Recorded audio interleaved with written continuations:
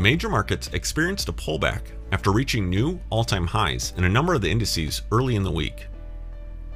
Earnings began to become the dominant factor last week as earnings season ramps up.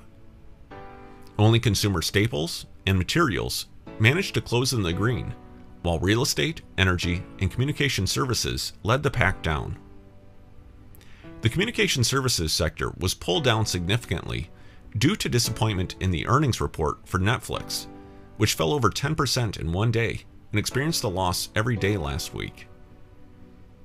Meanwhile, the losses in energy were in large part due to the pullback in both crude oil and natural gas prices. Oil prices have been somewhat volatile lately as there have been several events involving Iran and Western countries' tankers. Over the weekend, a second British oil tanker was seized in the Strait of Hormuz as tensions with Iran continues to escalate. In interest rate news, two Federal Reserve officials made a strong case to make significant cuts to the Fed funds rate in their public speeches last week.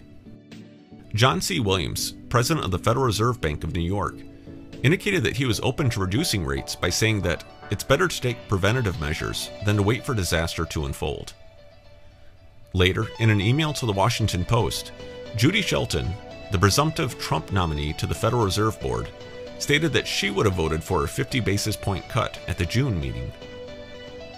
By Friday's close, U.S. Treasury yields fell again, with the three month yield at 2.06%, while the 10 year closed at 2.05%. This weekend marked the 50th anniversary of the Apollo 11 moon landing. An estimated 600 million people watched man set foot on the moon for the first time. During the landing, Neil Armstrong and Buzz Aldrin realized that they had overshot the original landing site. As they maneuvered the landing capsule around the boulder covered land, they nearly ran out of fuel. This served as a somewhat fittingly tense climax to the journey that began years earlier on May 25, 1961, when President John F. Kennedy spoke before Congress and announced the goal of putting a man on the moon. The last moon mission was in December 1972, it's amazing to think how much the world and technology has changed in the last 50 years, as the stars have become seemingly closer, and yet the moon has remained once again out of reach.